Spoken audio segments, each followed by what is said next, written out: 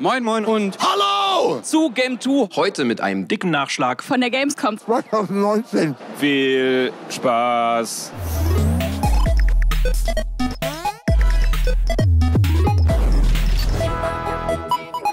Ja, sieben Tage habe ich gewartet, habe ich in der Schlange gestanden für uns beide. Aber wir haben es geschafft, wir haben uns Avengers angeguckt. Das scheint die längste Gamescom aller Zeiten zu sein, aber naja. Äh, Avengers hat sich auf jeden Fall gelohnt. Oder, Chris, was hast du? Äh, ja, alles in allem hat es sich gelohnt. Ähm, um es mal kurz zusammenzufassen, die Avengers feiern den A-Day, äh, sie werden angegriffen und ab da ist eigentlich nur noch Actionfeuerwerk. Ich fand, es hat mich stellenweise schon so ein bisschen auch an Tomb Raider erinnert. Zum Beispiel gab es da so eine Sequenz, wo man auf dieser einstürzenden Brücke so lang rennt. Ja, genau. Das ist quasi Ja. genau dasselbe wie bei Tomb Raider, wenn die irgendwie so eine, so eine Schlammlawine vor der wegrennen oder einen Berg runterrutscht. Generell war es ultralinear, was wir gesehen haben. Es war alles durchgeskriptet. Auch die Kämpfe teilweise mit QTEs hat mich aber nicht gestört, weil es eben cool inszeniert war.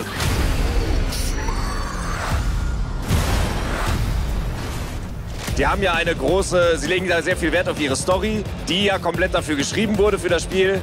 Ich als Comicleser bin jetzt noch nicht ganz überzeugt. Das klingt schon nach einer ziemlich 0815-Geschichte. Oh nein, Captain America ist tot. Wir zeigen Ihnen euch trotzdem, wie er sich steuert. Ja, ist alles so. Hat man schon mal gesehen, hat man schon mal gelesen. Aber man spielt es halt, um sich so zu fühlen wie die Helden selber. Und das haben sie bis jetzt ganz gut hingekriegt. You waiting? Uh, yeah, obviously. In dieser Intro-Sequenz haben wir alle Avengers mal gespielt, jedenfalls alle von den fünf Haupt-Avengers, die zum Start dabei sind. Und ähm, alle fünf haben zwar eigentlich das grundlegend selbe Steuerungslayout, das heißt, es gibt einen leichten Schlag, einen harten Schlag, einen Superschlag, einen aufgeladenen, aber trotzdem haben sich alle relativ unterschiedlich gespielt und unterschiedlich angefühlt. Ich fand, das hat sich schon alles geil gesteuert so, das war alles schön direkt, das hatte einen guten Flow. Ich fand aber nicht, dass es so flüssig durchgelaufen ist wie zum Beispiel in Batman. Was natürlich auch dran liegen kann, dass wir einfach noch nicht eingespielt sind ne, und da kommt natürlich noch eine ganze Menge. Also ähm, wer Bock hat, kann sich zum Beispiel ein Tor bauen, der eher auf Fernkampf geht, der mit seinen Blitzen zuschlägt. Man kann sich aber auch ein Tor bauen, der mit Mjölnir zuhaut und eher so ein bisschen der, der Balki-Nahkämpfer ist. Es gibt natürlich auch etliche Kostüme, das ist aber hauptsächlich äh, visuell, also Ja, genau, glaube die- rein visuell sogar. Also alles, was Spielrelevantes ist, was Mechaniken sind, Perks und Skills und sonst was, das kann man sich alles nur erspielen. Was man sich später auch für echt Geld kaufen kann, sind dann die Cosmetics, was natürlich bei den Superhelden viel Spielraum bietet. Ich meine, es sind Cosmetics. Dafür, wer es liebt, kann sich's kaufen, da kann man nichts gegen sagen. That is an entrance. Das größte Fragezeichen, was ich jetzt aktuell noch im Kopf habe, ist, wie es denn mit diesem Online, Offline, Single, Multiplayer, Mischmasch, wie sich das nachher ausgeht, weil wir natürlich von dem Multiplayer-Part noch nichts gesehen haben. Wir haben alle Singleplayer gespielt. Wenn man sich wirklich bei jeder Nebenmission jeden Helden aussuchen kann, das heißt, ob der jetzt nur am Boden ist oder fliegen kann, das muss für alle gleich funktionieren und dann alle vier gleichzeitig Progress haben. Oh, ob sie das Ja, das, hinkriegen? da bin ich nämlich auch gespannt, weil was man auch sagen kann, ist, dass wenn man Multiplayer online spielt, dass dann auch jeder Held nur einmal da drin vorkommen kann in einer Mission. Also es ist nicht Ja. so, dass man mit einem Trupp von, von fünf Captain Americas losziehen kann. Thor, Tony, check it out. At once. Try to keep up. Um es kurz abzureißen, ich hoffe, dass es nicht die ganze Zeit so ein Actiongeballer ist. Ich hoffe, dass es auch mal ein paar ruhigere Momente gibt, in denen sich die Charaktere auch richtig entwickeln können, dass das nicht nur so ganz plumpe Abziehbildchen sind. Aber ansonsten bin ich dem relativ positiv gestimmt, wenn dann dieses Online-Offline-Gemixe irgendwie ausgeht. Ja, hoffentlich geht die Rechnung auf, aber wir drücken mal die Daumen. Das wird schon ganz Geiles werden. Denke ich auch. So. Und damit würde ich sagen, gehen wir von fetten AAA-Geballer zu kleinen heißen Indie-Perlen mit Sebastian wahrscheinlich. Markus, Sebastian, das dritte Mal in die Arena. Äh, auf der Gamescom, wir zusammen. wir zusammen, wir gehen jetzt rein, weil es gibt sehr viele Spiele und wir Und- haben richtig Bock und Wir- Sehr wenig Zeit. sehr wenig Zeit. Und Ganz los. genau. Los geht's.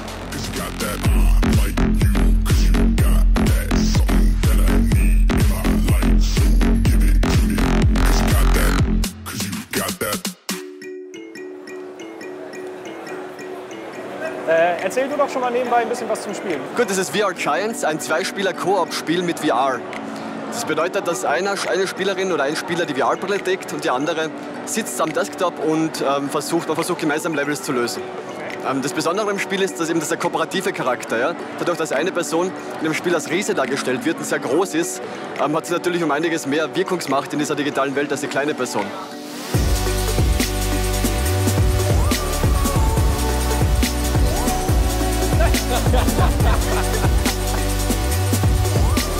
Einmal schnell wechseln.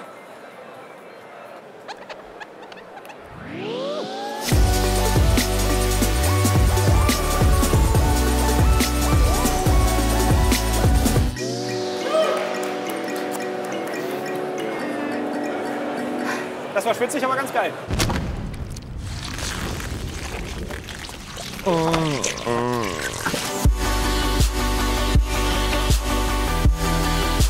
Wir sind gerade beim Speaking Simulator, wie man vielleicht sieht. Äh, eine, eine sehr schöne Dekoration, wie ich finde. Ja. So, uh, Jet, Yes. what is the Speaking Simulator? So, Speaking Simulator is uh, about a robot who's trying to infiltrate society just by having conversations with humans. Okay. So, you have to move the robot's lips and tongue right. into the right places to make your words come out and just get through a conversation like we're having now.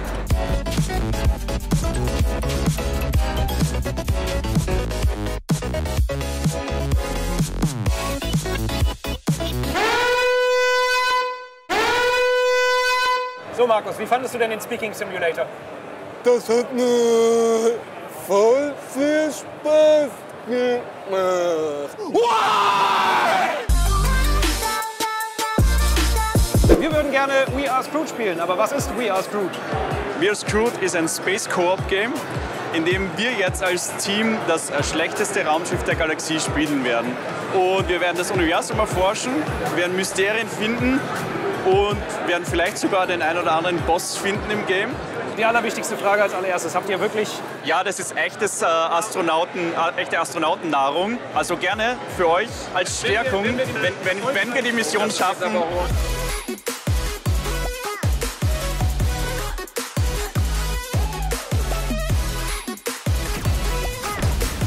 Wir haben es leider verkackt. Aber wir haben ein Level geschafft. Ihr habt ein Level geschafft. Und dafür habt ihr euch Weltraumnahrung. Weltraumnahrung verdient.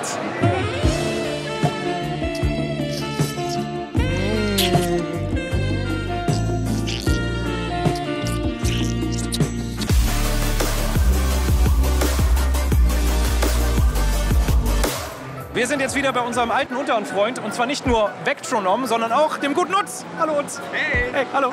Na? Ist ja nicht so, als hätten wir uns gerade schon mal gesehen. Wir, wir haben gesehen, ihr habt einen richtig geilen Stand diesmal. Ja. Also wir können euch, ihr könnt ja nicht nochmal einen Unterhund gewinnen, so ehrlich müssen wir sein. Ne, das wäre unfair. Aber ihr habt eine geile Tanzmatte am Start. Deshalb würde ich sagen, probieren wir das einfach mal aus. Haben wir ja gerade noch nicht. Völlig ist Sebastian auch Tanzmattenprofi.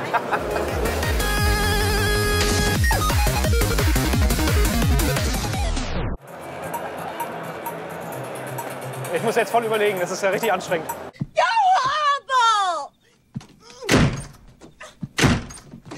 Du kannst ja, wenn du das Spiel einmal ganz durch hast, Ach du Scheiße. die BPM hier verändern. Oh, du Arschloch.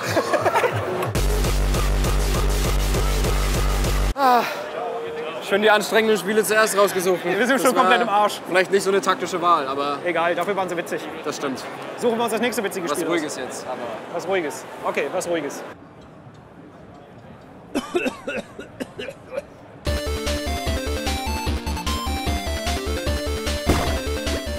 So the game is made by Mechanical, Mechanical Head, which is a one-man studio actually. oh, really? Yeah. And uh, he made pretty much everything in the game. The only thing he didn't make is the music. The music is made by Enrique uh, Martin. But it's basically, uh, it's more of an action game than a Metroidvania. Yeah, actually, it's not at all a Metroidvania. Uh, the main inspiration is actually Ninja Gaiden. And there's also inspiration from Contra, uh, Batman, Ninja Turtles, and uh, Mario for the level design.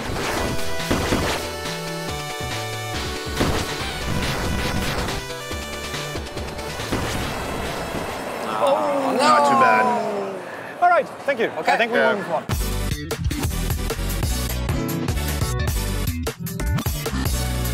Your game is called Heavenly Buddies. Yes. Uh, what's it about? Uh, essentially, you're uh, playing as a space cosmonaut or with a friend, Yep. as two space cosmonauts, and it's your duty to perform a variety of missions. I got it. No, wrong head. okay. What is happening with him? Oh, I have to catch him? I almost died. Okay, uh, trust me, I will catch you. Uh, Trust me, okay. I will catch you. he's still, he's, he's still feeling well. Uh, Thank do you. have uh, uh, like, uh, fuck, Visitenkarten. A card? Just a card.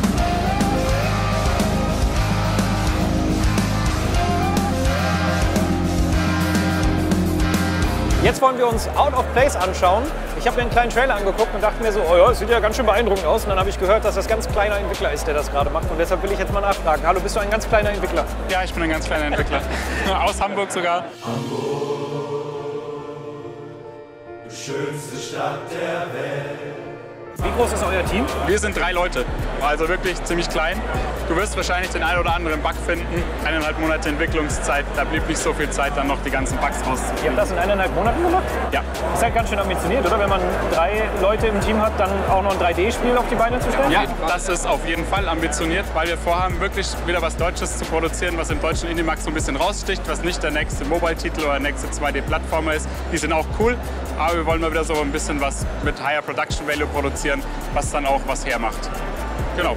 Ich stehe die ganze Zeit wie so ein Gangster dabei, wir beide. Ich passe ja. auch noch nach. Ja, Da er. Was halt Da hat er recht. Was halt Da hat er recht. Wie steht ihr denn dann zum ganzen Thema Computerspielförderung in Deutschland? Ja, da würden wir uns freuen, wenn es da was gibt. Ähm, ich weiß nicht, inwieweit ihr euch mit der Fördersituation in Hamburg auskennt, aber die ist ungefähr genauso wie die Wüste da. Da gibt es nämlich nichts. Ähm, deswegen würden wir uns natürlich umso mehr über so eine ja, größere Games-Förderung, die jetzt bundesweit und unabhängig vom Standort ist, freuen. Ja, ja, sehr schön. Das war eine coole Demo. Vielen danke Dank euch. Danke für die Zeit. Danke euch. Und wir drücken die Daumen. Ja, danke. Wir drücken die Daumen. Das sah echt geil aus. Ich find's super geil, super geil. Indie Village 2019. Wieder sehr vollgepackt mit sehr vielen bunten, tollen Spielen. Ja, das war wunderschön. Es hat mir sehr viel Spaß gemacht. Körperlich anstrengend zwar, aber Auf das ist Fall. egal. Das nehmen wir gerne in Kauf für Absolut. tolle Indie-Spiele.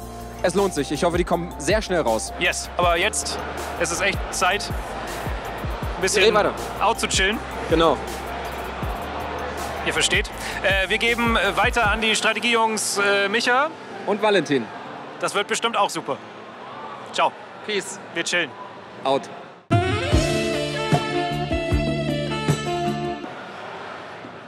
Ich stehe bei THQ Nordic und ich gucke mir gleich Desperados 3 an. Ich bin sehr gespannt. Was ich aber schon mal sagen kann, ist, dass das Essen hier bei THQ Nordic wirklich fantastisch ist. Also die Snacks, das ist ein ganz toller Schinken, richtig lecker Käse, so eine Rinderbulette auf äh, schwäbischen äh, Spätzle und so. Also ich habe es wirklich geliebt, das war richtig geil. Apropos leckeres Essen, mach doch mal ein Schnittbild. Und ähm, ja, jetzt habe ich richtig Bock, dieses Spiel sehr zu loben. Die anderen Publisher geben natürlich auch gutes Essen raus, aber das ist schon mal eine Leistung. Bis gleich. Tja, und genau wie der leckere Schinken wirkte in der Präsi auch Desperados 3 auf mich. Klassisch und gut abgehangen. Denn das grundlegende isometrische Stealth-Gameplay gibt's ja schon seit Kommandos aus dem Jahr 1998. Das Kernprinzip, ihr müsst stets auf die feindlichen Sichtkegel achten, um unentdeckt zu bleiben. Sonst gibt's Alarm und dann macht's Peng. Peng. Und so meuchelt ihr Stück für Stück die Karte leer, um Missionsziele zu erreichen. Dabei greift ihr auf die verschiedenen Skills der fünf Helden zurück. Zum Beispiel der Trapper Hector, der dank seiner süßen Bärenfalle Bianca seine Feinde ins Verderben pfeift. Hombre. Oder auch Neuzugang Isabel, die die Feinde per Voodoo-Gedankenkontrolle fernsteuern kann. Außerdem kann sie ihre Gegner vor einer Meuchelaktion koppeln, sodass dann beide Pech haben. Die zahlreichen Skills eurer Helden könnt und müsst ihr wie immer kombinieren, um die traditionell eisenharten Level zu schaffen. Außerdem könnt ihr oftmals die Umgebung ausnutzen. Guck mal, da steht eine Gatling. Wieso nicht mal einfach alles wegrotzen? Die Möglichkeiten sind scheinbar unendlich und das fand ich schon gut in der Präsi. Auch die Story scheint nun wichtiger zu sein. Sie kommt in den Gesprächen auch überraschend gut rüber. Laut Entwickler vor allen Dingen wegen der schicken Animation. äh, die wir diesmal auch komplett mit Mocap aufgenommen haben, was ich ehrlich gesagt in einem Game in der Perspektive noch nie gesehen habe davor. Ähm, da haben wir gut draufgehauen. Apropos draufhauen. Neu ist auch der Showdown-Modus, bei dem ihr in brenzlichen Situationen die Chance habt, auf Pause zu drücken und allen euren Helden rettende Befehle zu erteilen. Die Fans streiten übrigens, ob das noch Hardcore ist. Ich fand's nicht, genau wie den Rest. Jetzt mal unabhängig vom Schinken. Insofern, das könnte mein erstes, äh, wie nennt sich das Genre? Echtzeitstrategie, Taktik, gelöt Spiel werden. Im Wilden Westen. Ich freue mich drauf. Viel Spaß dabei, Michael. Weiter geht's mit Wasteland 3 und einer kleinen Geschichtsstunde. Wasteland 1 ist ja ein richtiger Rollenspiel-Opper. Der rundenbasierte Endzeitklopfer erschien bereits 1988. Er sprengte damals Genregrenzen und wurde vor allem für seine große spielerische Freiheit von Rollenspielfans gefeiert. Gemeinsam mit David Hasselhoff. Weil Entwickler Interplay jedoch aus rechtlichen Gründen keinen Nachfolger entwickeln durfte, wurde das ziemlich ähnliche Fallout 1 erdacht. und fuhr die ganzen Lorbeeren ein. Das arme Wasteland bekam deshalb erst 2014, also 26 Jahre später, dank Crowdfunding einen Nachfolger. Und weil das ein ziemlich geiles Rollenspiel war, wurden die Entwickler ein offizieller Teil der Xbox Game Studios. Und unter deren Flagge ist jetzt der aufgebohrte dritte Teil im Anmarsch. Bam! Faszinierend. Warum die ganze Geschichtsstunde? Weil ich nur 10 Minuten Anzockzeit hatte. Viel zu wenig, um so einen Rollenspielklotz ansatzweise zu verdauen. Ich kann nur sagen, dass die taktischen Scharmützel im verschneiten Colorado spaßig waren. Wie viel Reichweite hat meine Waffe? Wie nutze ich Deckung und Höhenstufen richtig aus? Schicke ich meinen Bulldozer los, um die Leute wegzuwemsen? Da gab es schon krass viele Möglichkeiten. Übrigens, die zusätzliche Microsoft-Kohle wurde in die humorvoll vertonten Dialoge und schicke grafische Effekte gesteckt. Guck mal hier zum Beispiel. Ganz geil für so ein Rollenspiel-Oper. I'm sexy and I know it. Sexy and I know it. Ach ja, und das, was die Reihe groß gemacht hat, die enorme spielerische Freiheit, wurde laut Entwickler mächtig aufgeblasen. So we magnified the idea of choice and consequence, so players can play this game how they want to. They can do things in different orders, they can kill who they want to kill, they can solve whatever missions they want to solve, and the world reacts to those choices. Das klingt doch alles ganz geil. Ob's stimmt, kann nur die Vollversion zeigen. So, Gasson, Alkohol, bitte. Wasteland 3, man merkt die äh, Fallout-Wurzeln oder man merkt bei Fallout die Wasteland-Wurzeln, je nachdem. Äh, ich bin sehr gespannt, wie das fertige Spiel wird und jetzt war ich äh, wirklich mal Feierabend.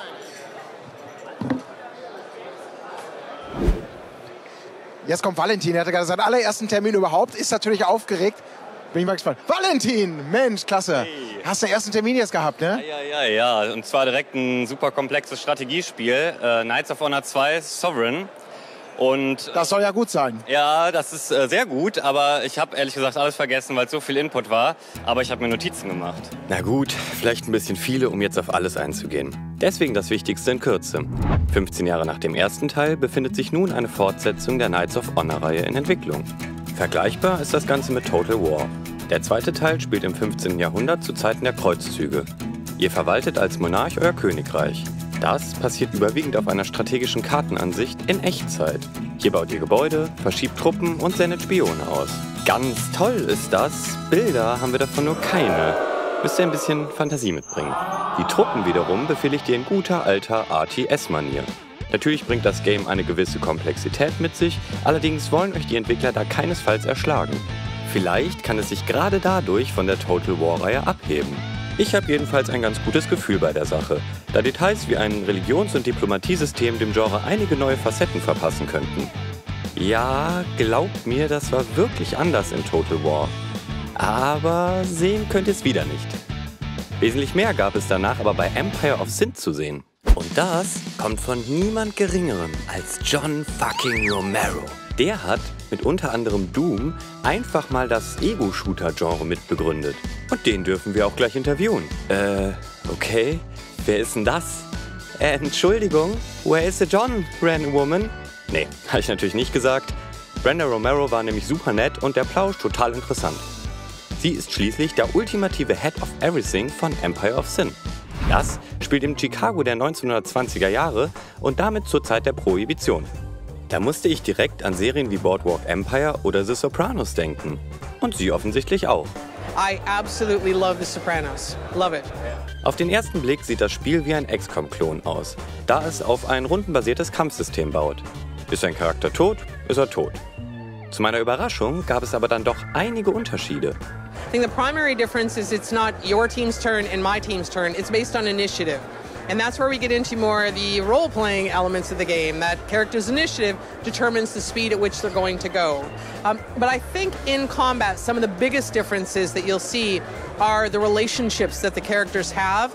Ja, das stimmt. Zum Beispiel können sich Charaktere in der eigenen Bande oder darüber hinaus ineinander verlieben. Das kann zum Problem werden, wenn die Turteltäubchen sich im Kampf begegnen. Die wollen verständlicherweise dann nämlich nicht mehr aufeinander schießen. Tja, Problem was? Um, they might actually, uh, there's a possibility, say you as, you as the boss, this relationship, if it's causing you difficulties, you can just tell them, as a real boss could, that's it, it's over, stop, I don't want you to be in this relationship anymore. Und das klingt nach einer unglaublich spannenden Mechanik, die man so nicht in einem Strategiespiel erwartet. Genauso wie ein Dialogsystem. Darüber könnt ihr Entscheidungen in Quests fällen oder mit Mafiabossen anderer Fraktionen um Krieg oder Frieden verhandeln. Und als sei das alles noch nicht genug, setzen die Entwickler noch eine kleine Wirtschaftssimulation obendrauf. Die Auseinandersetzungen mit anderen Fraktionen kommen nur zustande, weil ihr zum Beispiel deren Bar, Brauerei oder Casino übernehmen wollt. Euren Neuerwerb müsst ihr anschließend richtig managen. Bleibt beispielsweise Besuch aus, könnt ihr mit einer Jazzband neues Publikum anlocken. Um es kurz zu machen, Empire of Sin hat mich wirklich überrascht. Neben der rundenbasierten Strategie hat es viele Elemente, die man in diesem Genre nicht erwartet. Und darauf habe ich richtig Bock. So, nun reicht's mir aber erstmal mit Strategie. Löst mich hier jemand ab? Ja, hier, ähm, ich. Viel zu früh morgens bin ich losgetigert, um Iron Harvest anzuzocken. Kurz zusammengefasst ballert ihr euch hier mit einer der fiktiven Fraktionen Polonia, Russwied oder dem sächsischen Imperium mit Max durch den Ersten Weltkrieg. Habe ich schon gesagt, dass es sehr früh war? Also, kurz einen Schluck Kaffee, den Trailer angeschaut und schon ging's los. If you ask me, get ready to fight. Echtzeitstrategie mit komplexer Steuerung und ganz viel Micromanagement. Hier müsst ihr taktieren und den Kopf schön hinter der Deckung halten. Kurzum, Iron Harvest ist das strategiespieligste Strategiespiel, das ihr in diesem Strategiespielblock sehen werdet. In so einer kurzen Anzug-Session im lauten Messetrubel und ohne Tutorial lässt sich das aber vielleicht auch nicht so gut fassen. Na, Vergangenheit, Sarah? Ein paar letzte Worte? Wir durften gerade die Story von Iron Harvest zocken. Ähm, da geht es um die Anna und die hat einen süßen Bären dabei. Der Wojtek heißt der. Und der kann dir Sachen, der kann erstens mal alle hier kaputt kloppen mit seinen krassen Pranken. Und der soll nachher auch Medikits schleppen können. Wojtek gab's übrigens wirklich. Und jetzt schnell weiter mit Final Fantasy. Wir haben ja schließlich noch viel vor. Der ganze PC-Quatsch mit Michael und Valentin, jetzt ist ja endlich mal Schluss damit. Jetzt kommt das Wichtige. Oh ja. Es kommen hübsche junge Männer mit blonden Haaren, spitzen, spitzenblonden Haaren und kugelrunden großen Augen. Gerade, bis eben gerade habe ich mich noch angesprochen gefühlt. Ja, ich meine ich meine auch Sebastian, aber ich meine natürlich auch Final Fantasy 7. Okay. Geil. Und äh, Trials of Mana, nicht Trials of vergessen. Mana natürlich, Weil genau. Trials of Mana wird richtig geil. Ich habe sehr große Erwartungen, das kann nur richtig gut werden, aber ich glaube, wir müssen uns beeilen. Kameramann, lauf!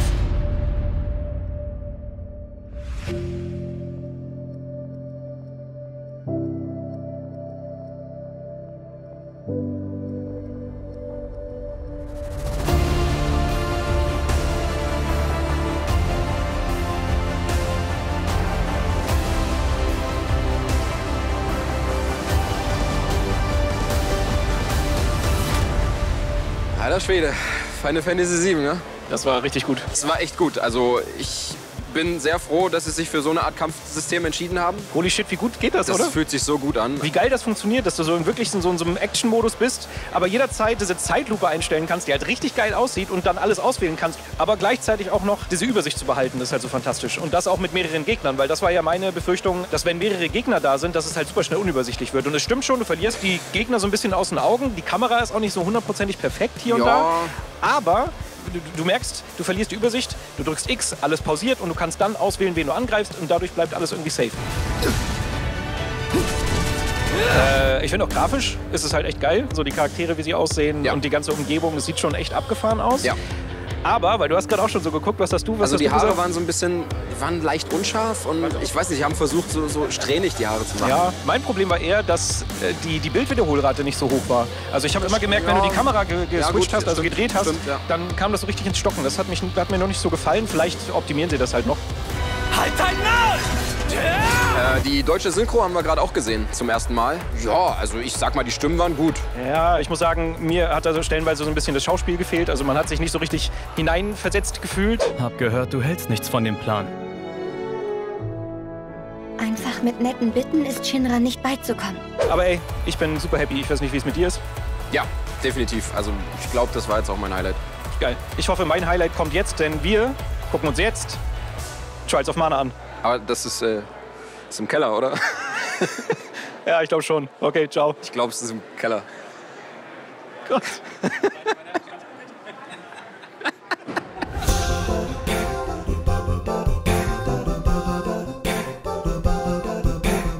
Wir waren gerade bei meinem persönlichen Highlight. Ich bin ein großer Mana-Fan. Haben wir alle gehört, ja. Hab das, glaube ich, schon ein paar Mal erwähnt, dass Secret of Mana das beste Spiel überhaupt ist. Das ist jetzt der dritte Teil, der remaked wurde. Und das ist ein bisschen fies, weil wir waren eben gerade bei Final Fantasy und Final Fantasy ist halt so das krasse Remake. Und Trials of Mana ist halt technisch echt ganz schön low. Naja, es passt zu dem Spiel. Also für mich kann ich das immer als Anime-Comic-Optik abstempeln und da nehme ich auch den unscharfen Stein und den hässlichen Wasserfall im Hintergrund in Kauf, weil die Charaktermodelle, die waren völlig in Ordnung. Ja, vor allen Dingen, was man halt sagen muss, es sieht halt wesentlich besser aus als das erste Remake, also Secret Absolut. of Mana. Be quiet, stupid. Das war wirklich schlimm und das ist jetzt schon eine ganze Ecke besser. Es sieht irgendwie ganz schick aus und vor allen Dingen haben sie sich diesmal das Recht rausgenommen, auch wirklich ein bisschen was zu verändern und auch wirklich mal zu modernisieren. Das Allerbeste ist, dass sie das Kampfsystem halt überarbeitet haben. Das stimmt, ja. Ich wollte ja auch Secret of Mana nachholen, das haben wir auch mal zusammengespielt. Ich habe es nicht lange ausgehalten. Das Kampfsystem kannst du heute nicht mehr bringen. Und jetzt ist schön modern. Du hast verschiedene Arten von Angriffen, einen schweren und einen äh, normalen Angriff, kannst eine Ausweichrolle machen. Du hast sogar Skills, die du über die Schultertaste auslösen kannst. Du hast aber auch einen Aufladeschlag, so das klassische Secret of Mana-Ding. Und dadurch wirkt es halt wirklich gleich viel moderner und, und aktiver. Und wir hatten ja auch einen kleinen Bosskampf gegen so, eine, so einen Krebs. Und der hatte auch so verschiedene Angriffsmuster. So ein bisschen wie bei Final Fantasy VII. Natürlich alles ein bisschen seichter. Aber auch so, dass er so einen Sprungangriff hatte. Und du hast gleich so eine rote Fläche markiert bekommen. Du wusstest, ich muss jetzt weg. Das fühlt sich gut an. Ich habe es auf der Switch gespielt, du auf der Playstation. Kann man auch im Handheld-Modus super wegspielen. Da sah es auch noch mal ein bisschen besser aus. Also die unscharfen Sachen sind mir jetzt übrigens Mhm. auf der Switch nicht so aufgefallen. Ja, auf kleinerer kleinen Bildschirm, genau. Also ich habe da Bock drauf. Zumal du das ja auch zu dritt. Ev- also das konnten wir nicht confirmen, aber es ja, also es gibt drei Charaktere und es würde mich wundern, wenn das jetzt nicht funktionieren sollte. Ja. Es ist schon, ist schon eigentlich ganz nett. Und gerade wenn man das mit mehreren spielt, äh, ich habe ich hab richtig Bock drauf. Ich, ich hätte Bock, auch das mit, mit dir zusammen zu spielen. Oh, das ist schön. Freue ich mich drauf. Ja, cool. Aber das war's äh, zu Trials of Mana. Ich bin happy. Äh, wie geht's denn weiter? Äh, ich bin äh, jetzt auch noch sehr aufgeregt. Ich sehe nämlich noch mehr hotte Anime-Boys mit Trant. Dragon Ball Oh. und ich weiß gar nicht, was noch alles gibt, aber. Du siehst Trant? Ich sehe Trant. Das ist ja krass. Ja. Ja, hier ist Trant in der Anime Corner von Bandai Namco. Und wir spielen hier Dragon Ball Z. Denn Markus ist auch dabei. Ohne dich könnte ich es nicht machen. Hallo Markus. Dragon Ball Z Kakarot heißt es. Dragon Ball Z Kakarot. Und das ist ein Action-Rollenspiel, das sich an der Handlung der Dragon Ball Z TV-Serie orientiert. Was man auf jeden Fall sagen kann, der Look des Animes wurde gut getroffen. Vor allem die Kämpfe knallen grafisch gut rein. Wuchtige Animationen und fette Effekte lassen jedem Fan das Herz höher schlagen. Aber ob das Ding spielerisch was taugt, ist nochmal eine andere Frage. Ja, die Kämpfe. Ja, es ist halt so eine seltsame Mischung aus Action, ich hämmer Tasten und schieß ganz viele Projektile. Und ich halte die Zeit an und schieße meinen Kamehameha. Also es ist ungewohnt, ich hatte das noch nie in einem Dragon Ball Spiel. Ich bin zwar schnell reingekommen, aber es ist halt so viel Effekte, überall Explosionen, Zahlen. Es ist schon sehr überfordernd. Ich habe jetzt nicht das Gefühl gehabt, dass es viel Sinn macht. Was ich, also es hat schon Sinn, aber dass ich jetzt schön gezielt mal einen Angriff vornehmen kann, es war schon sehr chaotisch. Aber es gut, waren auch nur 10 Minuten. Die Spielwelt wirft ebenfalls Fragen auf. Die wirkt nämlich verdammt groß und verdammt leer. Schwer zu sagen, ob es Bock machen wird, diese Einöde zu erkunden. Ich bin einmal rumgeflogen, es war schon sehr leer. Und, er ist sehr hoch geflogen und hat sehr lange gebraucht, um wieder zu landen. Ich habe versucht, gegen so einen Drachen zu kämpfen. Dragon Ball hat Drachen und Dinosaurier. Nö, da fliegst du durch. Direkt durch durch den. Und dann kommen Zufallskämpfe gegen irgendwelche Roboter. Also und lahme Nebenquests. Ich muss den Stein verkaufen für so einen Dörfler. Mm, Ja, ich glaube, ich habe da nicht viel Hoffnung, dass da noch mehr kommt, aber zumindest kommen Charaktere aus dem Dragon Ball Universum vor, die man schon länger nicht mehr gesehen hat. Das fand ich ganz nett, aber es scheint eher so Standardkost zu sein. Von A nach B gehen, hier und da mal quatschen und ein bisschen kämpfen. Hm, ja, weiß nicht mehr. Wir werden sehen. So richtig überzeugt waren wir nicht. Und gleiches gilt auch für das Spiel, das ich gespielt habe. One Piece Pirate Warriors 4. Sieht geil aus, wirkt aber auch ein bisschen anspruchslos. Es ist halt wie alle Warriors-Spiele irgendwie, hast ein bisschen Landschaft mit Wegen, ganz viele Gegner und die muss ich halt wegboxen. Das habe ich jetzt in dem Fall mit, mit Ruffy gemacht. Es gab stinknormale Kombos, wie man sie aus den Warriors-Spielen kennt, ganz viel Quadrat drücken und am Ende Dreieck. Dann gab es auch noch ein paar Special Moves, die waren sehr lustig anzusehen, zum Beispiel mit äh, Daumen aufblasen, ganz fett werden.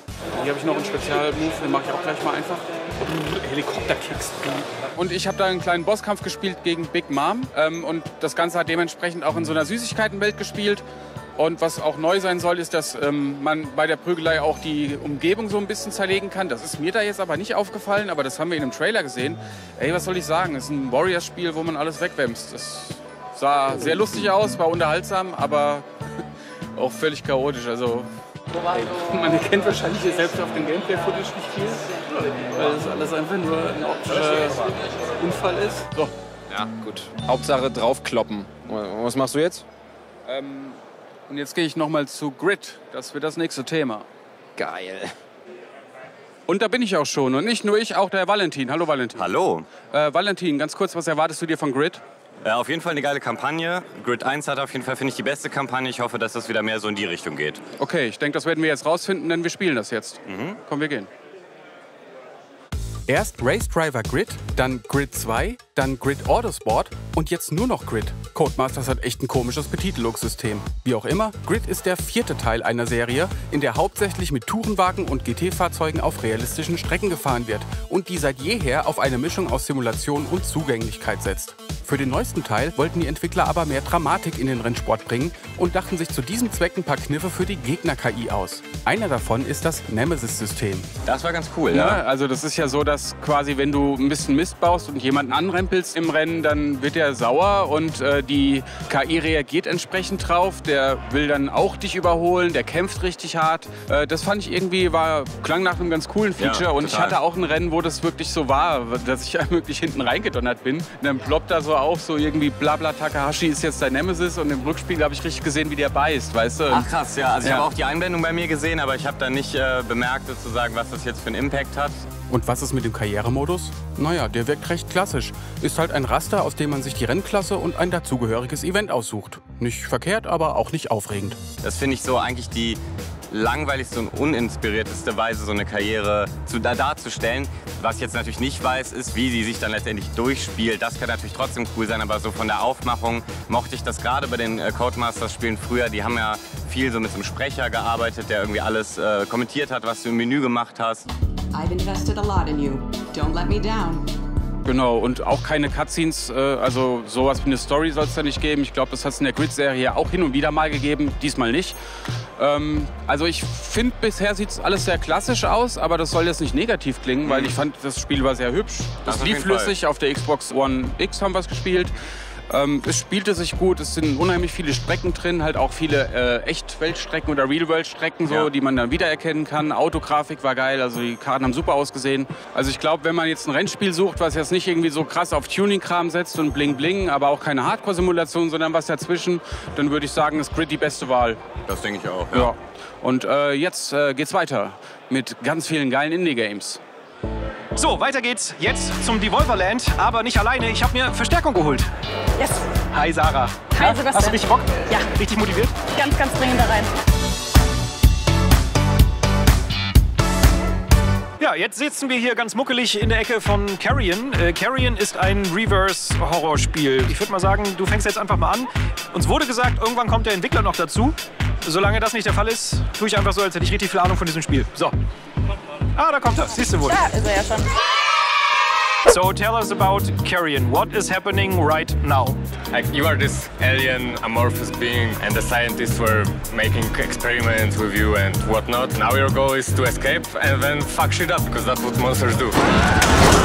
Durfte das sein, was ich schon lange mal sein wollte. Und zwar ein richtig krasses, cooles Tentakelmonster. War es denn gut? Ich konnte ja nur zugucken. Ja, es hat Spaß gemacht, auf jeden Fall. Es war manchmal ein bisschen schwammig, was dieses Greifen angeht. Genau, das wollte ich nämlich wissen, weil es sah immer so chaotisch aus. Du hattest immer irgendwelche anderen Dinge in der Tentakel, als das, was du eigentlich in der Tentakel hättest haben sollen. What can Sarah do as a bloody tentacle monster? Uh, well, Sarah can, for example, grab this guy. Oh, okay, I can grab him. Yeah? You can grab him like everything else. She's, she's not very successful as a bloody tentacle. Okay, now, now you're eating this guy. Ich war mir auch so ein bisschen unsicher, weil er hatte gesagt, dass man die Menschen essen muss, um stärker zu werden. Und jetzt klingt komisch, aber ich habe sie teilweise nur halb gegessen und es lagen noch Teile rum. Und ich bin mir ein bisschen unsicher, ob ich die alle hätte nehmen müssen, damit es quasi gilt und man stärker wird. Man hat nicht so ganz das Feedback. We are definitely ta- taking lots of design cues from Metroidvanias. Will it be more successful than Fortnite? Ja, na natürlich. Aber wenn ich das jetzt so höre, dann bist du noch nicht vollkommen euphorisch und denkst so, oh, das krasseste Spiel jemals, sondern eher so, ja, könnte. Genau, es könnte. Und du willst eigentlich nur noch weiter Menschen töten und zerfressen und zerfleischen. Ich habe überhaupt gar keine Angst.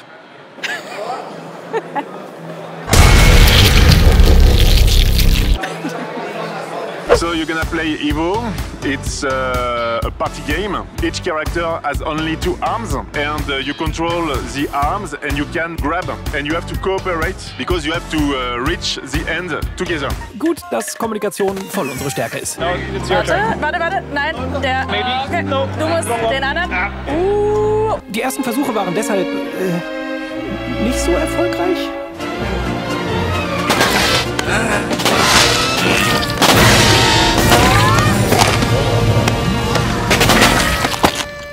Ein bisschen Spaß gemacht, hat's aber trotzdem. No, no, no, no! Oh!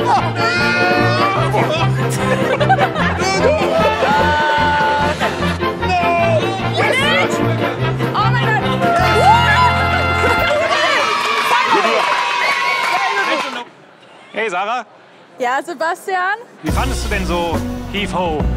Ich fand Hivo ziemlich cool. Ja, ich fand das auch sehr gut. Und Ja. das ist ja so ein, so ein Spiel, wo alles absichtlich schieflaufen muss. Ja. Und ich sag mal, das hat's geschafft. Du meinst wie diese Moderation? Ja. Okay. Okay, wollen wir weitergehen? Kann uns bitte jemand hier jetzt rausholen? Das wäre super. Okay.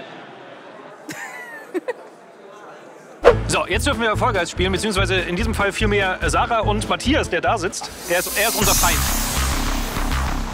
So, tell us, what are we going to do with the Fall Guys now? So Takeshi's Castle, that was our big frame of reference when we started making this game.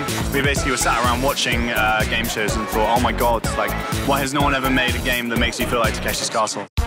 In den drei Challenges der kurzen Demo müssen mal Tore mit dem Gesicht weggewämst, mal klassische Hinderniskurse überwunden oder Mario Kart-mäßige Ballonspielchen bestritten werden. Das alles mit anfänglich 99 Gegenspielern, bis zum Schluss nur noch ein Champion übrig bleibt. Wie heißt eigentlich Matthias? Äh, Matthias ist Hammy. Hammy, okay, Hammy ist nah dran. Oh, okay. Ah, okay. Run, run, run. Run, run, run, run, run, run, run, run, run. Getting close. Whoa! No! Okay. Jump!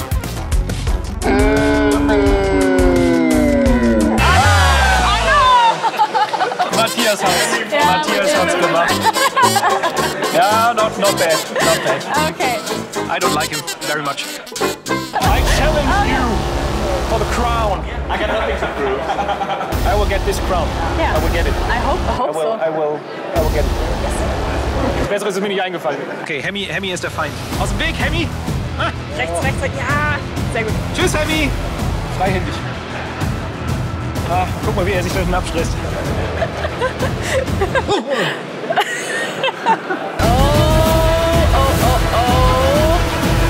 Please don't Give me my crown!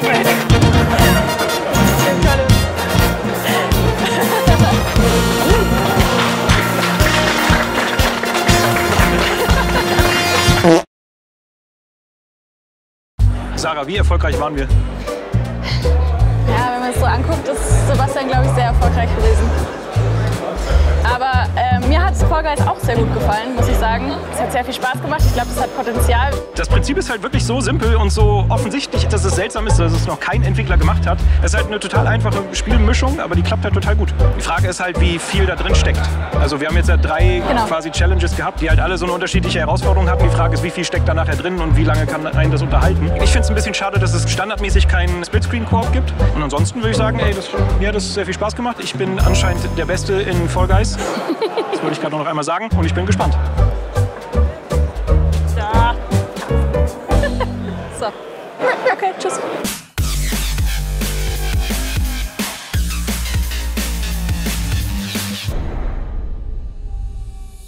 Wir haben jetzt eine Dreiviertelstunde brandneues Gameplay gesehen von Cyberpunk 2077. Und dir gebührt das erste Wort, weil du hast dich ja so unglaublich darauf gefreut. Jetzt immer noch, investigativ gefragt. Ähm, also kannst du auch in der Hand behalten, das Mikrofon? Ja, okay. Du kannst auch in die Hand nehmen, wenn du möchtest. Ja, okay. ähm, ja, ich bin äh, noch begeisterter als vorher. Es ist dieselbe Demo, die wir in L.A. schon gesehen haben. Also die Tim und Trant in L.A. gesehen haben bei 3. Und ähm, alle Erwartungen übertroffen, würde ich sagen. Und die Welt sieht halt aus wie eine richtig belebte, existierende Welt. Das fand ich so geil. Man läuft da rum, die ist komplett belebt, die wirkt überhaupt nicht steril, sondern alles bewegt sich, alle machen irgendwas. Das ist quasi die lebendigste Open World, die ich bis jetzt gesehen habe. Da ist richtig Verkehr auf den Straßen und trotzdem ist die Grafik richtig schweinegeil. Auch in den Innenräumen und so weiter ist die Grafik einfach Killer äh, für ein Open-World-Spiel. Das war so mein erstes Ding, das Optische sozusagen.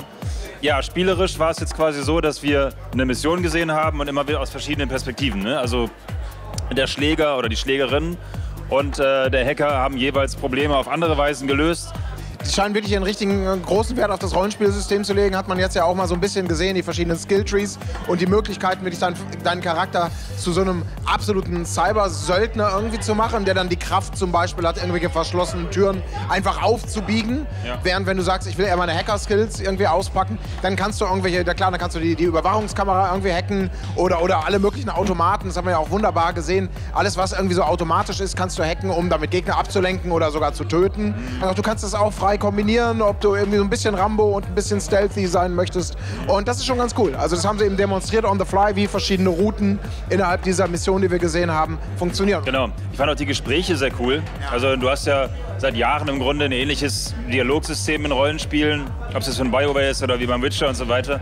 Und die haben es ein bisschen erweitert, weil es können einfach Dinge passieren während des Gesprächs. Jemand platzt zur Tür rein, sagt irgendwie was und du reagierst dann auf den und unterbrichst das andere Gespräch oder du hast ein Gespräch vom Motorrad runter, ohne dass jetzt erst abgestiegen wird und die Kamera wechselt und so weiter. Das ist alles sehr dynamisch und theoretisch ähm, ja, triggerst du dann einen anderen Storyfaden, der dann später losgeht oder so. Also die Gespräche wirken sehr dynamisch und ähm, auch skillbasiert, weil am Anfang haben sie ja gezeigt, man kann verschiedene Hintergründe haben. Also quasi ja, eine Lebensgeschichte, die hinter einem steht. Die ermöglichen einem nochmal extra Antworten in den Gesprächen. Also zum Beispiel, äh, ja, wenn du Street Kid bist, dann kannst du mit den Gangs jetzt in diesem Ghetto-Viertel, nenne ich es mal, natürlich besonders gut agieren und hast immer diese extra Antwort, die dann für mehr ähm, Respekt sorgt wahrscheinlich und so. Und das fand ich schon sehr geil. Und was ich auch einfach geil finde, ist, dass man das schon jetzt gespürt hat, und das, das bestätigen die Entwickler ja auch immer wieder, dass Cyberpunk eben nicht so ein konventionelles Massenspiel wird, wo es am Ende dann doch darum geht, der Gute zu sein, die Welt zu retten mit irgendeinem Trick oder, oder indem man den bösen Präsidenten ausschaltet, sondern diese Welt, die ist irgendwie, die ist einfach im Arsch. Ja. Und du versuchst da irgendwie zu überleben und mit, mit mal schlechten, noch schlechteren Entscheidungen da irgendwie dich so durchzuwuseln. Und glaube ich, wirklich ganz spannende Story zu erleben, in der es aber eben nicht so ganz so simpel darum geht, dass es alles moralisch blitzsauber und der Spieler hat eine weiße Weste und ah, nee, nee. Das ist schon alles abgefuckte Scheiße für Erwachsene. Man hat kein, kein großes Mitleid, die Leute haben kein Mitleid mit einem selbst. Und so ist das alles auch angelegt. Genau, es passt, diese Welt die ist irgendwie rund. Ne? Ja. Das, das wirkt, als ob das alles gut aufeinander abgestimmt ist. Genau. Also das wird echt ein, das wird, das wird ein ziemliches Monster. Ich bin super gespannt. Aber jetzt ist natürlich so der entscheidende nächste Schritt. Wir wollen irgendwann mal endlich mal selber Hand ja. anlegen. Weil das ist ja noch die Frage, wie die Steuerung, Gunplay und so weiter. Aber ich meine, die, die, die wissen ja schon, was sie tun. In diesem Sinne auf ein hoffentlich gelungenes Spiel. Kann echt nicht wahr sein. Hier im hinterletzten Winkel, weggesperrt wie so ein ungeliebtes Kind, findet sich plötzlich Hollow Knight Silk Song am Nintendo-Stand für die Switch spielbar. Und auch nur garantiert auf einer Anspielstation. Und man sagt, man hat mit dem Andrang nicht gerechnet. Und ab hier wartet man zweieinhalb Stunden. Matthias, fragst du mal, ob die mich vielleicht vorlassen? Dafür haben wir so viel Personal. Ne? Ja, Matthias, ja? Der traut sich was, ne? Ja. Lässt sich nichts machen. Lässt sich nichts machen. Matthias hat alles versucht. Komm mal, komm mal ran, Hannes, hier. Ich beschreibe das mal. So. Wir stellen uns einfach vor, dass da jetzt ganz fantastische Musik läuft gerade. Zum Beispiel so.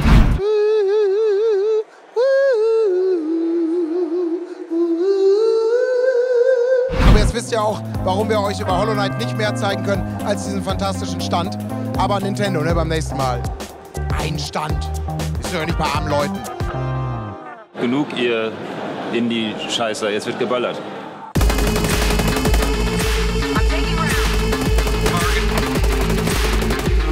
Und zwar im Ghost War-Modus vom kommenden Ghost Recon Breakpoint. Im Prinzip ist das ein stinknormales Team-Deathmatch, in dem sich zwei Viererteams behaken. Obendrauf gibt's die typischen Shooter-Klassen, die Spezialfähigkeiten und Waffen mit sich bringen. Sniper, Medic und so weiter. War jetzt alles nicht besonders originell, aber irgendwie hatte ich Spaß. Möglicherweise, weil mein Team seine Feinde in sämtlichen Runden übelst zerstört hat. Ich bin ja auch in äh, Team Alpha. Kein Wunder also. Bist du zufrieden mit ihm als Teammate? War in Ordnung, ne? Ja, also, ich weiß zwar nicht, welcher er war, aber Ich war der krasse Typ auf dem Kran. Meine Siegertaktik, Dauercampen und alles wegsnipern. Und jeden Idioten, der seine gefallenen Freunde wiederbeleben will, ebenfalls wegsnipern. Im Grunde, ich warte auf Freundschaften, die ich beenden kann. Nach diesem schrecklich einseitigen Gemetzel zeigte ich mich zumindest als fairer Gewinner. Tja, das wird wohl nichts, ne? Dagegenüber. Die beiden Maps waren übrigens eher klein und schrumpften zudem im Laufe der Zeit. Ein Hauch von Battle Royale also. Und man konnte Gadgets wie eine Drohne finden, mit der man Gegner taggen kann. Die fieseste Waffe ist jedoch ein hackbares Surveillance-System auf der Map, wodurch alle Gegner zugleich aufgedeckt werden. Dadurch kam viel Bewegung ins Spiel und meine anfangs erfolgreiche Dauercamperei war ruckzuck nicht mehr möglich. Also, insgesamt reißt der PvP-Modus kreativ keine Bäume aus, macht aber Bock. Wie gesagt, solange man gewinnt, ist natürlich geil. Äh, Finde ich gut, das Spiel. Kriegt eine super Wertung von mir. Approved. Wir haben jetzt einen Termin, um uns Predator Hunting Grounds anzugucken. Allerdings dürfen wir da die Kamera nicht mitnehmen, deswegen bleibt ihr jetzt da draußen und wir gehen da jetzt rein. Bist du Predator-Fan? Nee. Okay. Okay, Voodoo. Timing here is crucial.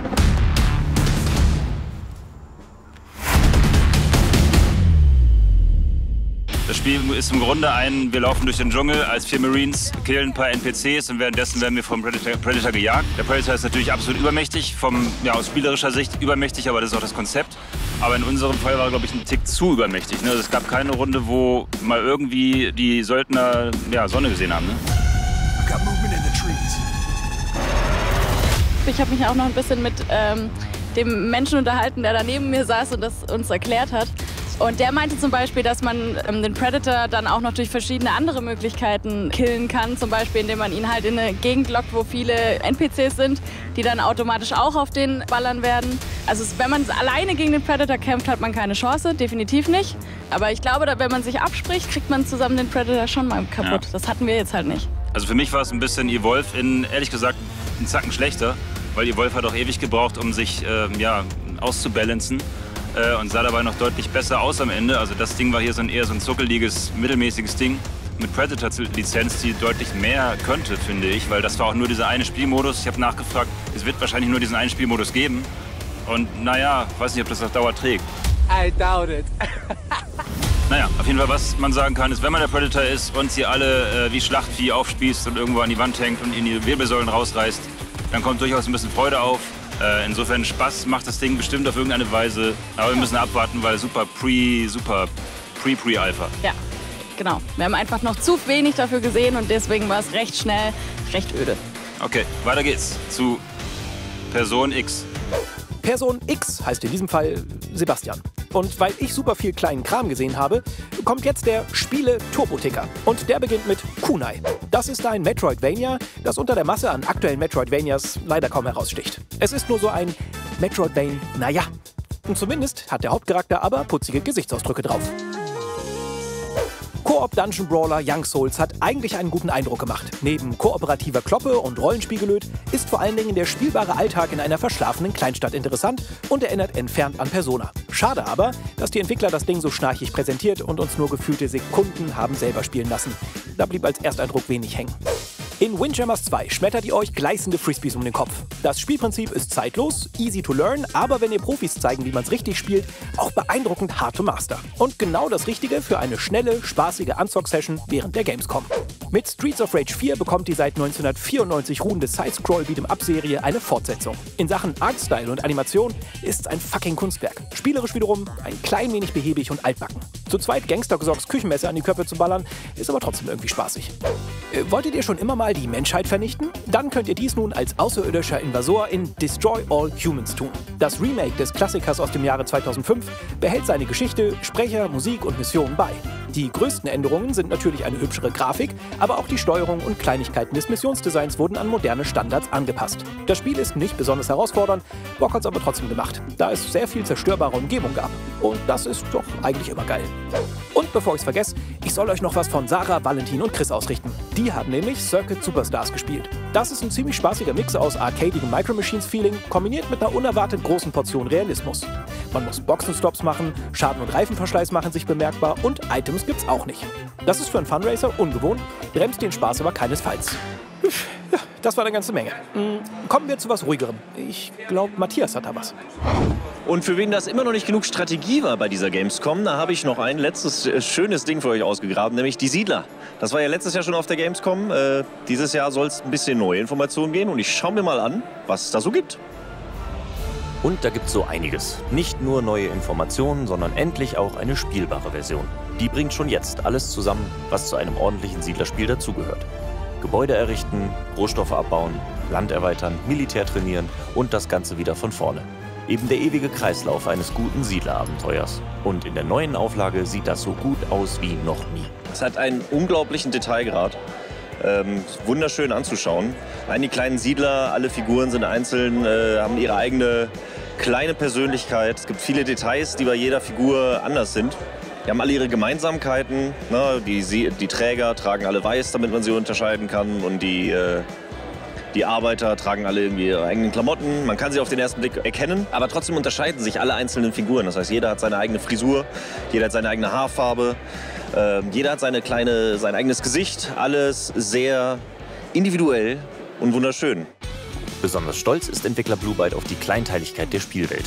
Jede einzelne Spielfigur und jeder einzelne Rohstoff sind irgendwo auf der Karte zu finden und nicht bloße Statistik. Wenn also der Rohstoffcounter in der Ecke 149 zeigt, könnt ihr pausieren und werdet alle 149 Holzstämme irgendwo in eurer Siedlung finden.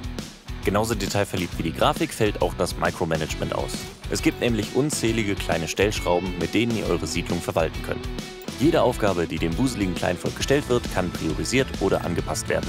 Zudem gibt es einige Möglichkeiten, Arbeitsabläufe zu optimieren oder langfristig zu planen. Außerdem darf fast jedes Gebäude in mehreren Stufen gebaut und aufgewertet werden. Taktikfans kommen beim Besiedeln also voll auf ihre Kosten. Ganz ähnlich sieht es beim Militär aus. Ihr bildet Soldaten einzeln an Bogen, Keule, Schwert und anderem Kriegswerkzeug aus und befehligt so nach und nach immer größere Armeen. Und die können bis zu 1000 Einheiten stark sein. Ansonsten gibt es auch diesen Glory-Sieg, den haben sie auch letztes Jahr schon angeteased, wo man seinen Helden trainiert und in Turnieren dann die äh, gegnerischen Siedlungen von seiner Partei überzeugen kann und so langsam die gegnerische Bereiche übernimmt. Das dauert im Vergleich zum Militär etwas länger, haben sie gesagt, aber dafür kann man dann seine, die Rohstoffe behalten, die man bei militärischen Angriff komplett roden würde. Es gibt anscheinend noch soll es noch einen dritten Weg geben zu gewinnen. Sie nennen das Ganze den Faith-Sieg. Wie das genau aussieht, wie das nachher zusammenhängt, das wird sich dann wohl beim Release erst zeigen. Ansonsten gibt es noch verschiedene Areas. Es gibt nicht mehr nur die grünen Graslandschaften, sondern gibt es auch noch einen Wüstenbereich, den sie gezeigt haben, wo dann mal Palmen wachsen, wo generell mehr Land ist. Dafür ein bisschen weniger Ressourcen. Es wird noch einen dritten Bereich geben, zu dem sie sich auch noch nicht geäußert haben. Da können wir noch überrascht sein. Ich meine, nach Wiese und Wüste vielleicht noch irgendwas Eisiges. Was man aber immerhin schon weiß, ist, dass es neben einer Solo-Kampagne auch Multiplayer- und Sandbox-Modi geben wird. Für letztere setzen die Macher komplett auf prozedural generierte Karten. Dadurch soll jede Runde neu und einzigartig sein. Klingt ja beinahe nach unendlichem Strategiespaß. Sehr, sehr kluge Neuerungen, die ich da so gesehen habe. Spricht also alles dafür, dass sie da schon in die richtige Richtung gehen. Es ist immer noch eine Alpha. Da muss noch ein bisschen Arbeit reingesteckt werden, aber es sieht alles schon sehr, sehr gut aus. Und ich habe richtig Bock, das Ding dann leider erst nächstes Jahr zu spielen. Aber Halleluja, ich werde da wahrscheinlich sehr viele Stunden reinbuttern. Aber was soll ich sagen? Ich alter Strategiefreak. Wie vor 30 Jahren der kleine Colin in der Pommesbude.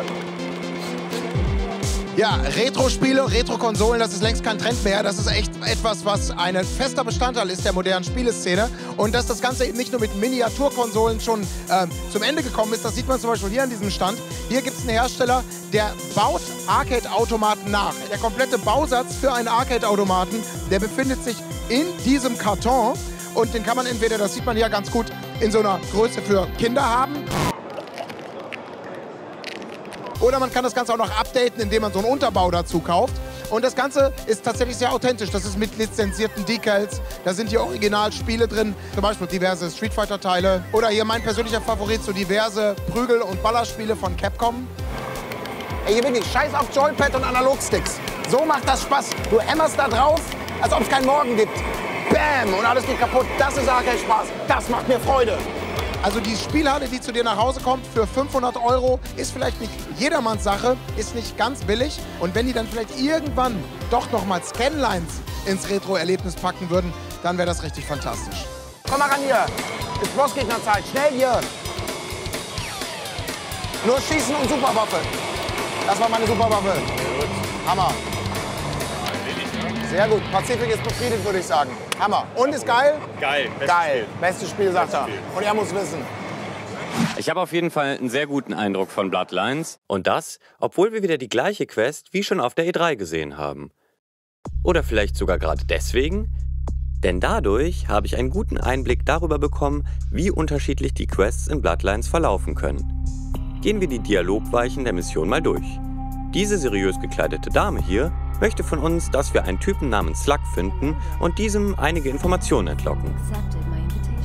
Nach ein bisschen Rumgerenne, draufgekloppe und drüber gekletter finden wir den gesuchten Slug in einer ranzigen Ecke des virtuellen Seattle. Das nun folgende Gespräch mit ihm kann sehr unterschiedlich ausgehen, je nachdem, welche Charisma-Fähigkeiten wir mitbringen oder für welche Dialogoptionen wir uns entscheiden. Weg A. Hier machen wir im Gespräch den Fehler, ihn nicht nach seinem Namen zu fragen und im Satz danach diesen aber zu erwähnen. Funny. I don't remember telling you my name. Das verrät ihm natürlich, dass uns irgendwer geschickt haben muss. Blöd gelaufen, denn jetzt ruft er seine Freunde, um uns verkloppen zu lassen. Natürlich polieren wir denen die Fresse ordentlich. Anschließend exekutieren wir den guten Slug. An die benötigten Informationen sind wir auf diesem Weg nicht gekommen. Weg B. Diesmal fragen wir, wir suchen nach einem Typen namens Slug. Eine Ahnung, wo er ist? Natürlich die smartere Antwort. Nun lassen wir uns als offensichtlich bonziger Vampir auf den Deal Geld gegen Infos ein. Das Gespräch geht noch eine Weile und am Ende ist Slug gefühlt unser bester Freund. Weg C. Wiederschlägerei mit Slug und seinen Freunden. Diesmal aber die Liebe-Variante ohne abschließendes Köpfen. In allen drei Wegen gehen wir nun zu unserer professionell wirkenden Auftraggeberin zurück, um ihr unsere Erkenntnisse zu berichten. Have you met with Slug? Ausgang Weg A. Hier können wir nun eigentlich nur zugeben, dass wir Slug gekillt haben und uns damit aber auch die Informationsbeschaffung nicht gelungen ist. Sie und ihre Fraktion sind sehr unzufrieden. Sprich, wir haben es uns möglicherweise mit denen verscherzt. Ausgang Weg B. Wir haben zwar die Information bekommen, entscheiden uns aber dafür, aus Sympathie für unseren neuen Freund, zu lügen. Sie und ihre Fraktion sind nicht happy. Ausgang Weg C. Wir haben die Information bekommen und überreichen sie der Auftraggeberin. Sie und ihre Fraktion finden das selbstverständlich ganz geil. So, jetzt habt ihr drei verschiedene Wege gesehen, wie die Mission ausgehen kann. In der Gamescom-Präsentation ist die Mission sogar noch mal ganz anders ausgegangen. Und der Vielfalt der Dialogoptionen nach zu urteilen, gibt es noch viel mehr Weichen, auf denen ihr anders abbiegen könnt. Doch wie viele unterschiedliche Wege gibt es wirklich? Ganz ehrlich, ich habe mich nie hingesetzt und gezählt, was ich nach diesem Tag bereue, weil ich die Frage ein paar Mal gestellt bekommen habe. Den Fokus ha- hat das Team sehr stark auf die Momente gelegt, wo wir tatsächlich mit Charakteren interagieren können, wo die Interaktion mit Charakteren ernsthaft unterschiedliche Lösungen zu den gleichen Problemen führen können. Also der Gedanke ist, im Dialog im Endeffekt das Gleiche herzukriegen, was man in anderen Spielen durch die Entscheidung, ob man jetzt durch das Dach oder durch den Keller in äh, die Szene einsteigen will, bekommen würde. Ich habe auf jeden Fall einen echt guten Eindruck von Bloodlines. Ähm, allerdings ist das Game noch nicht so wirklich polished. Also wir haben äh, einige Glitches noch gesehen, Frame-Einbrüche. Ich persönlich könnte mir noch knackigere Texturen vorstellen, wobei da wird wahrscheinlich bis Anfang nächsten Jahres, wenn es released werden soll, äh, nicht mehr viel passieren. Das Kampfsystem äh, könnte man auch noch mal ran, weil ja, das, ist, es hat sich noch nicht fertig äh, angefühlt irgendwie. Ähm, aber da sind die auch noch gerade am, äh, am Werkeln, hat äh, der Entwickler uns verraten. Deswegen, da kann noch einiges passieren und ich hoffe, das wird's auch. Vampire The Masquerade Bloodlines 2 war definitiv eins meiner Messe-Highlights. Aber was war denn nun das offiziell Beste der Messe? Kommen wir also nun zu den renommierten jährlichen Game 2 Gamescom Awards.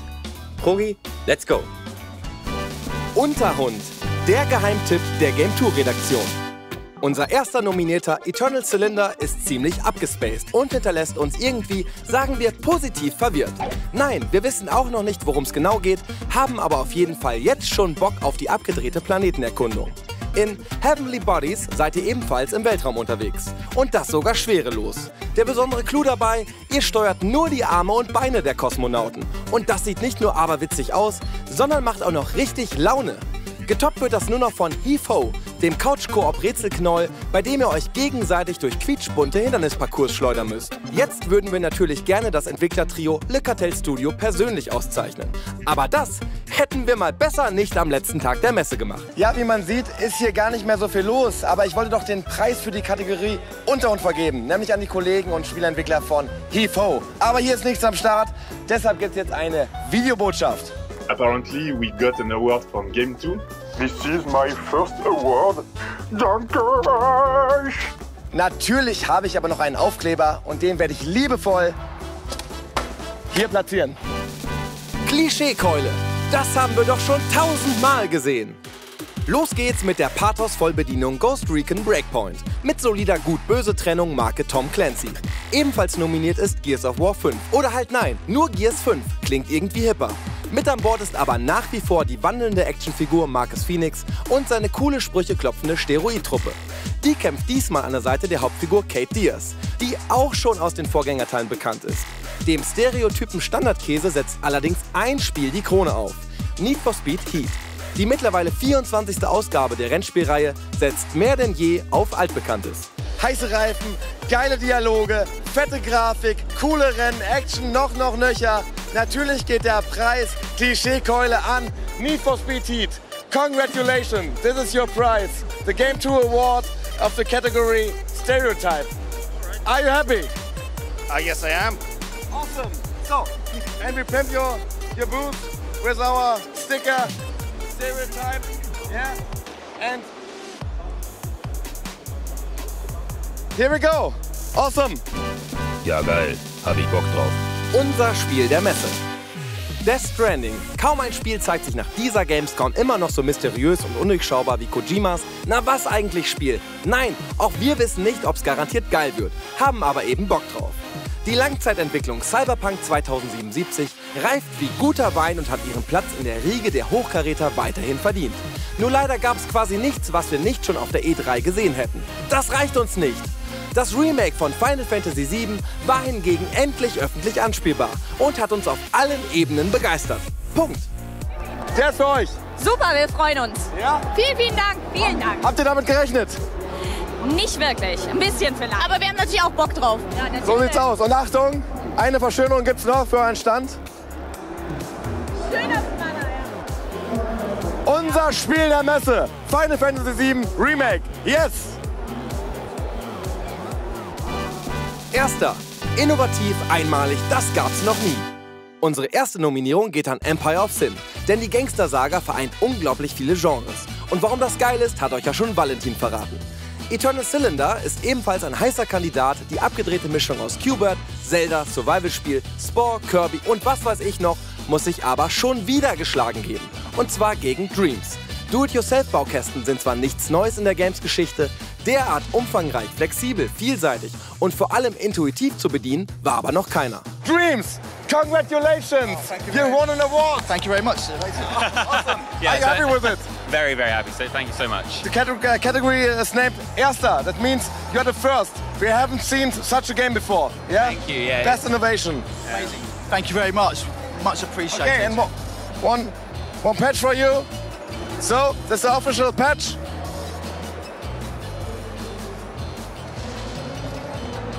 Awesome. Azi-Fazi, dieser Style ist supergeil. In Concrete Genie geht es um die Kunst eines kleinen Jungen. Ash zeichnet sich Fantasiefreunde und haucht dabei seiner trostlosen Welt auf wundervolle Weise wieder Leben ein. Manchmal sind aller guten Dinge drei.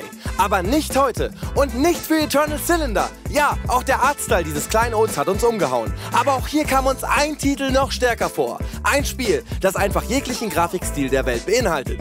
Weil ihr den Stil selbst gestalten könnt. Na, eine Idee, wer es sein könnte? You won another prize.